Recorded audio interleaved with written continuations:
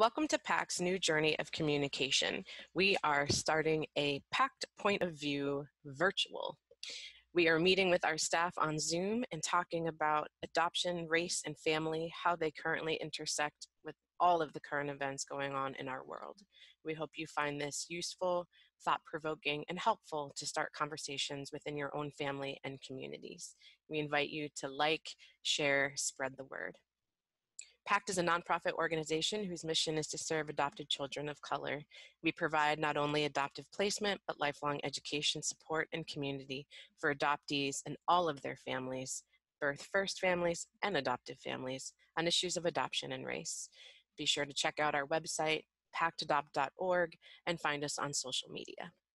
Welcome back to our second PACT virtual um, point of view. I'm going to go ahead and ask everybody who is with me to introduce themselves. They're going to give their name, their pronoun, the position in their, their position in the adoption constellation, and their role at PACT, and then we will get started. So my name is Katie Winan. I use she, her pronouns. I am an international transracial adoptee, and I am the adoption social worker at PACT. I work in placement. Beth. Hi, my name is Beth Paul. I am the executive director of PACT. I am use she, her as my pronouns. I am an adoptive parent. I have adult children. I also grew up in an adoptive family. I'm the sibling. Of, I'm the non-adopted sibling of an adoptee. And yeah, that's me. Thank you. Susan. I'm Susan Dushaget Alexander. I use she, her pronouns. Um, I'm the adoption agency supervisor at PACT and the first slash birth family specialist. I'm also a transracial adoptee and a first mother. Deanna. Hi, my name is Deanna. My pronouns are she and her. I am the camp director for both PACT Camp West and PACT Camp East, and I am an adoption ally. Ben. Hi, I'm Ben. Uh, I use he, him pronouns. I uh, am a transracial adoptee myself, and I'm PACT youth coordinator. And Malika. Hi, I'm Malika Parker, and I'm an adoptive parent. Um, I use she, her pronouns, and I am the Adoptive Parents of Color Collaborative Director. Perfect. Welcome. So a couple weeks ago, PACT put out a statement um, regarding the verdict on the Breonna Taylor case, and we talked about our next point of view being about that and about Breonna and how we're thinking and feeling. Um, before we open it up to dialogue, we do just want to let everybody that is watching know that this conversation we feel is very important for all members of the adoption constellation who love and support adopted children of color. Um, and we really hope that everybody is involved. We will talk about the first birth parent perspective or responses. We'll probably talk about adopted um, adults and adopted people responses, adoptive parent responses. So um, we hope everybody finds this helpful. So we are going to open it up for just a dialogue type style. Um, I will open up the floor for whoever wants to speak or kick us off.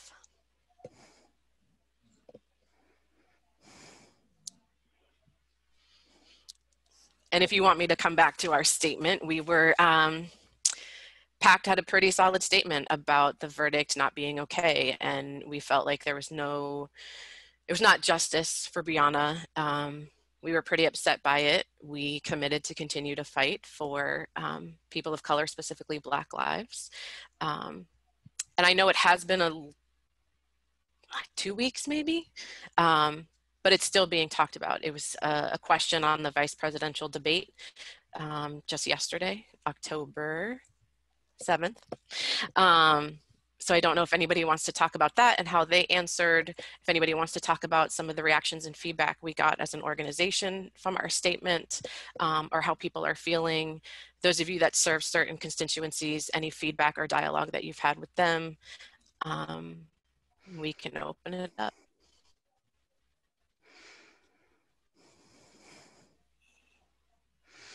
I've said this to you all um, in our private meetings. I just don't understand what's so difficult about saying we messed up. Uh, this young lady lost her life um, I didn't even know what wanton endangerment was. I had to Google it. I had never heard of it before. And it's just appalling, offensive. Uh, to me, I am a parent of a 23 year old Black woman, and my daughter could easily be Breonna Taylor. Um, and thinking of her mother and her family, they're showing us that her life did not matter. The way I read the charges for the one officer of wanton endangerment was the walls of the neighbor were more important than the loss of Breonna Taylor's life. And that's appalling to me.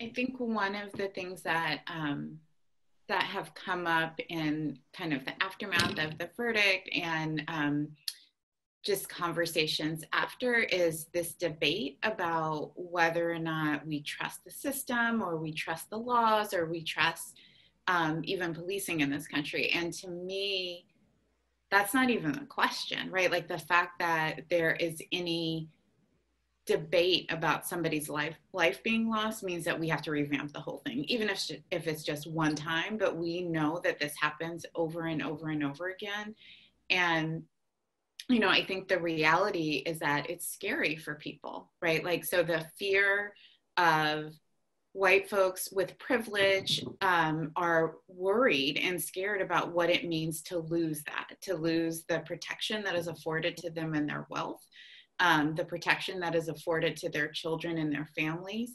And for some, it is irrelevant the cost of that protection.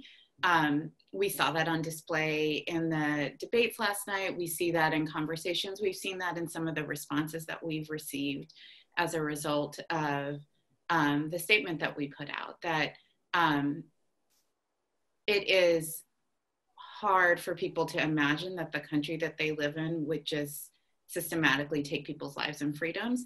Um, and meanwhile, for families of color, it's terrifying to think, just like Deanna said, that at any moment that could be your child, right? Like that for many families, right now is some of the safest times for their children because everyone's at home. Um, because you can't you can't trust that when you send your children to school um, if they go to college, if they go to the store down the street, that they will come back home. And that is unacceptable on so many levels. And I think, um, you know, I think that when we um, imagine what's possible, and a lot of the conversations that are happening right now about defunding the police it's allowing people the opportunity to think about a world that's different a world that like everyone feels safety and inclusion um, and lifted up. And that means that some folks have to give up what they have in order for everybody to have what they need. Well said malika. Thank you. Mm-hmm.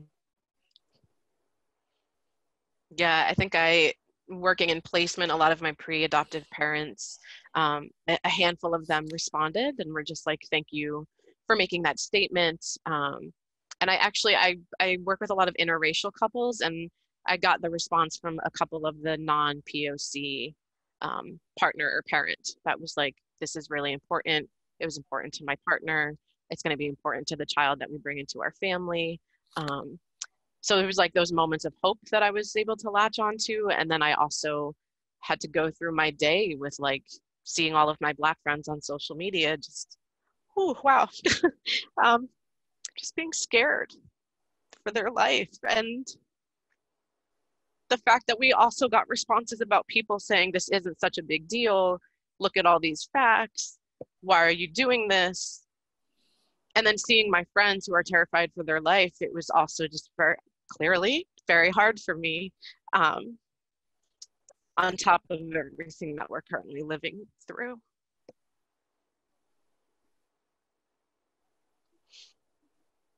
Yeah, I think for me, it's, oh, I'm sorry. Um, I think for me, it's just becoming really hard as a youth educator to find places of positivity within this news. And, you know, I don't think this is ever something positive to hear for any community.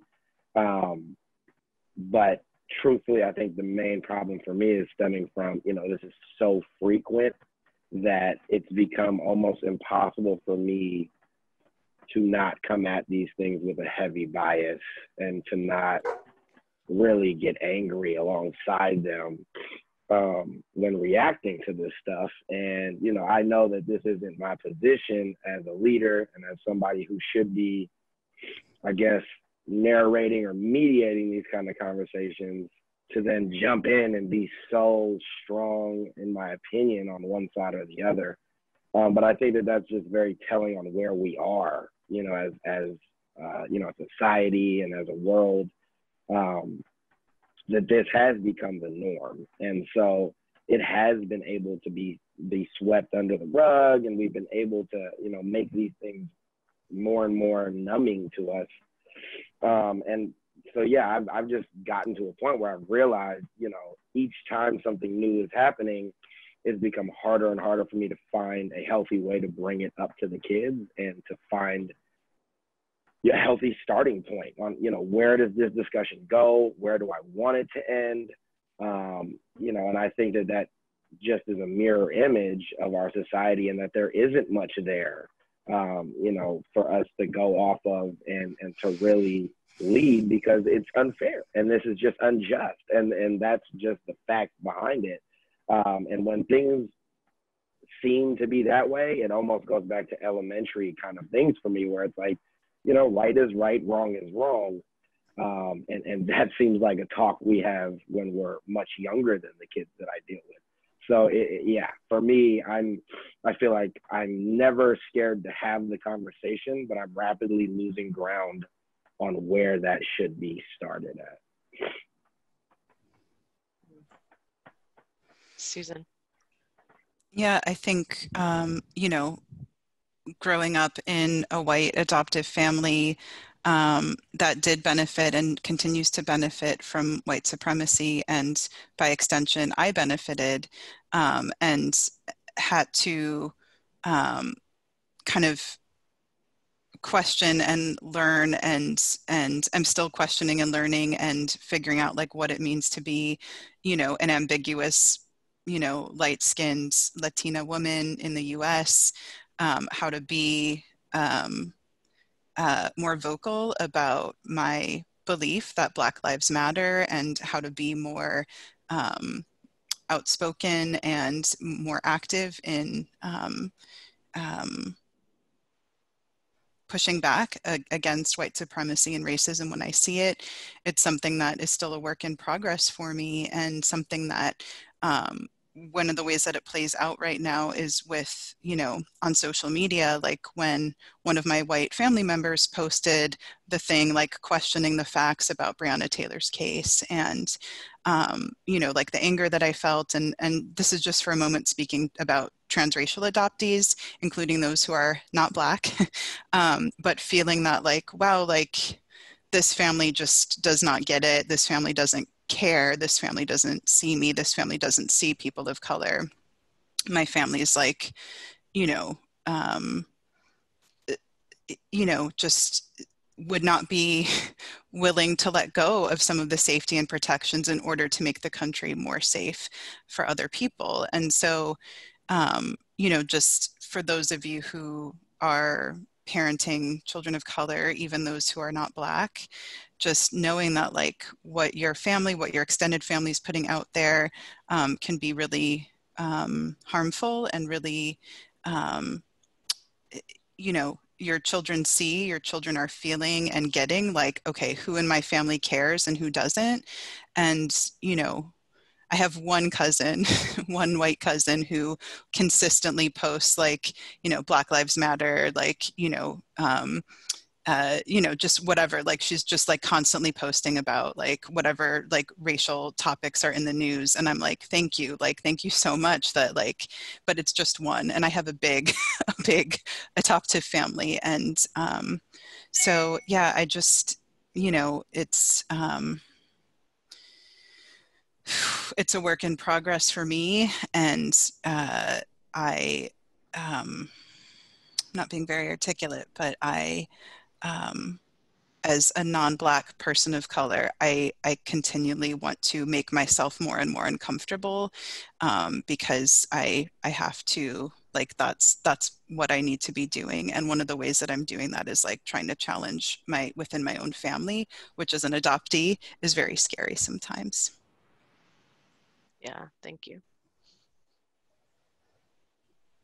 I think um, for some, thank you for that, Susan. That was really beautifully said. Um, I think for many families, often regardless of the racial background, they want to provide some kind of uh, shield for their children from all of this just nastiness in the world. And um, I, you know, I when we think about adoption and when we think about how children joined our families, that the very system that put them in our families regardless of private or public or international, that it's deeply flawed. And so for any of us to have this illusion that um, our children haven't experienced oppression and deep, deep, deep impacts of white supremacy is flawed.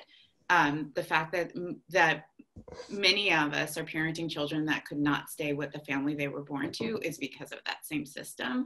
Um, and so when we're thinking about how to talk about all of this stuff, I think that um, having conversations about the systems of adoption are like those are very much intertwined and i don't think that those are conversations that enough of us have um, as parents with our children um, about how just like deeply flawed the system is that brings them to our family and that as adoptive parents we are participating in that same system um, and um, and to make the connections of how for ourselves and for our children um, of the different ways that it shows up. So Breonna Taylor losing her life is one version of that. Um, families of color not being supported in parenting their children is another version of the like just lack of acknowledging the humanity of people of color. I've been thinking a lot about as we talk, as we talk here about um, it, it's it's horrible to me as a white person who therefore totally benefits from white supremacy and is not experiencing what um, both my children, each of you, and many people of color that I love and those I don't know, but but I also think about the kids and this notion that I fear hugely that somehow if we don't talk about it, or if we pretend things are the way they ought to be or, or are okay, that that will lead to building happy, healthy, resilient children. And I feel like that's the polar opposite is true. If we don't acknowledge what is, how can we help our children develop the muscles to be strong. And I see that so much more powerfully in black and brown communities than I do in my own. And and I it's painful to me to see how many of us that are um, white in particular, but us as a larger community want to deny that reality that resilience comes from pushing back on what is wrong. It comes from fighting for justice. It comes from acknowledging what is beautiful, and part of what is beautiful is standing up for what is right, not from denying that. It just feels to me like all this, the, the ways that the country and that the response to the Breonna Taylor murder has been about, you know, details and little, you know, um,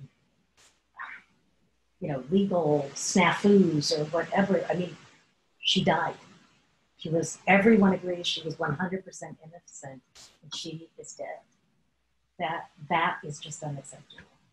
And I, I don't, it's hard for me to understand how that can't be unacceptable to all of us. It's painful to understand, but it isn't. Thank you. I want to give us just a few more minutes um, anything else coming up for people, conversations you've been having,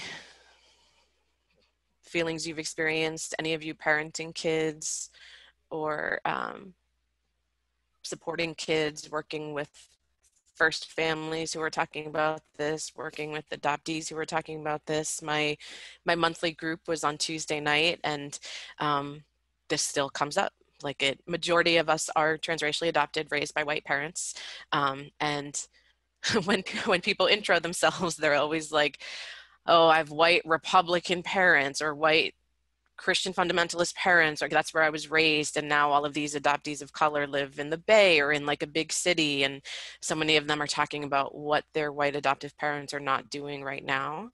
Um, those that are same race adoptees are talking about this is a dialogue I've had with my parents my whole life, and I'm still having to have it.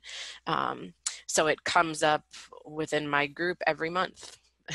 we meet every month and it comes up not just Breonna Taylor, but just the injustices, what we experience as people of color, um, and the support or lack of support we're getting from for most of us our white adoptive parents and it's it's kind of split. There are people who their parents are doing a lot and there are people who their parents are not doing anything um, and we're all ages right? So there are 40 year olds who are like my white adoptive parent doesn't understand why I'm out protesting or doing something else. And this is what I've had to deal with my whole life. They don't see me as a person of color.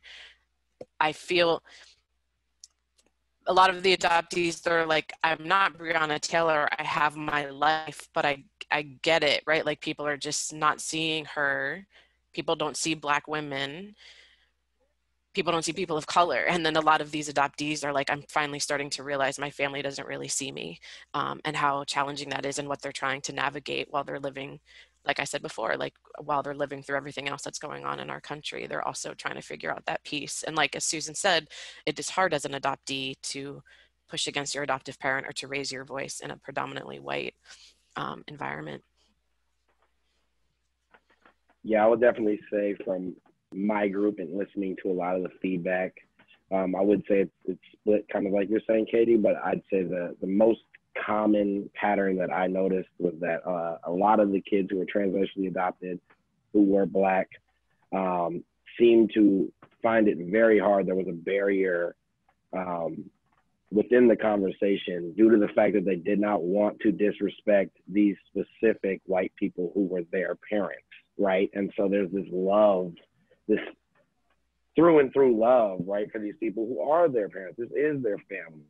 Um, but they all are, they they all for the most part are also black, and so uh, the balancing act that they're dealing with, I think, has been very telling. And for us as uh, organization, PACT, um, who provide for them, I think it is a, a very big subject to bring up. That for them, it's not comfortable finding that middle ground so that they can feel reassured that they won't lose their parents or that they won't say something that would make their parents feel like, you know, they're 100% against them, but at the same time feeling comfortable enough to actually bring race up and to throw out the fact that, um, you know, they do feel like oppression has come from white people mainly and, you know, different conversations like that that do actually have to align with race at some point. Um, so for me, that was not shocking necessarily, but I think that with a lot of kids saying that even that thought overwhelmed them to the point where they would pass on the conversation was was definitely something that I was like I just had to take note of and, and really realize that that's all too common. And I even to a certain extent, not being a black adoptee, but being transracially adopted, did realize that there were certain situations in which that same exact feeling came over me and did hinder the way that I approached my parents. And so I do think that's another important thing to bring up is that sometimes these conversations are definitely wanting to be put onto the table, um, but sometimes, you know, especially within our own um, our own demographic, it's it's tougher, and I think that that's valid as well for for this conversation specifically. Who a lot of those kids will feel as though they are Breonna Taylor, um, but probably have a different overall outlook on white people just because of their family. It's exhausting. Every day, it's something new. Um, Breonna Taylor, George Floyd, the debates, all the things. It, it's exhausting. I'm not an adopted person. I'm not an adoptive parent. I am an ambiguous uh, black woman. I it's and I'm exhausted. It's like I'm waiting for the bottom to fall out, and all of this amongst a pandemic. It, it's exhausting, y'all. Yep. Malika or Susan, anything before we close?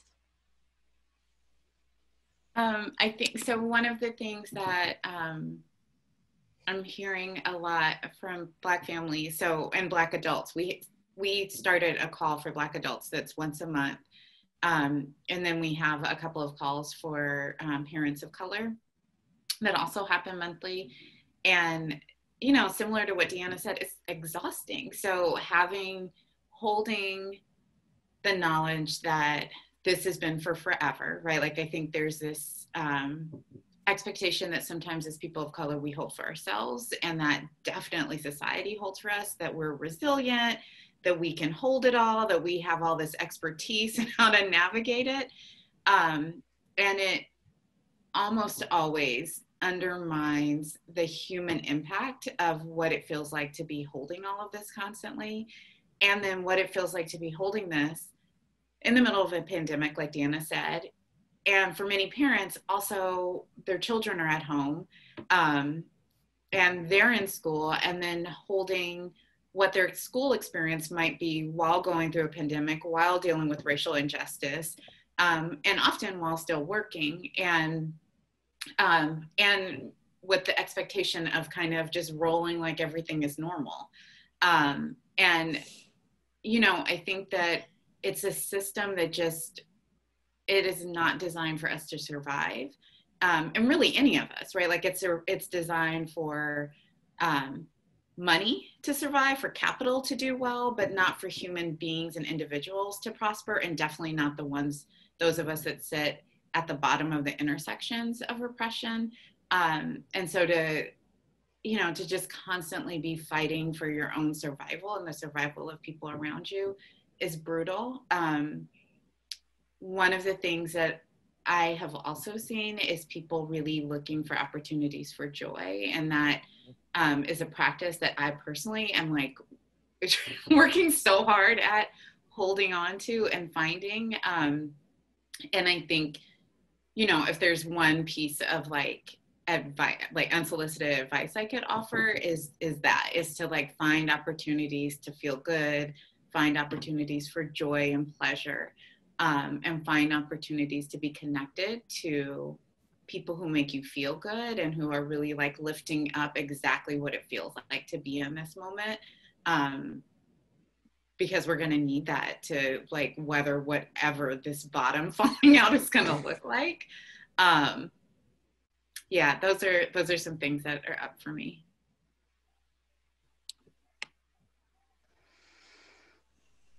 If there is nothing else, I will go ahead and wrap us up. Um, for everybody that has tuned in, I obviously I hope you recognize the takeaway that PACT still fully stands behind Black Lives Matter and justice for Breonna Taylor, um, and that hearing from everybody on here the adopted children of color that we all love first birth family members adoptive parents adult adoptees who i i'm not an adoptive parent but there are adopted kids of color that i love besides myself. Um, and allies and aunts and uncles like what they are struggling too right? So how are you holding your children? How are you starting a conversation with them? Ben told us they want to talk about it but they're trying to figure out that balance like susan talked about of how do i push on my parents who I love and not, you know, so um, for those that tuned in, I hope you think about that and think about how you can um, support and connect and hold your adopted child of color who is also feeling and seeing and everything, feeling and seeing and hearing everything in the world, and also watching you, the adults in their lives, um, and what you're doing and how you're handling it. Or what so you're not doing. or what you're not doing. Yeah. Silence is a conversation what you're not doing is visible, who you're supporting, what you're talking about or not talking about. Yeah, thank you, Susan. Um, and we will see you next time for our next PACT virtual point of view. Can you stop recording?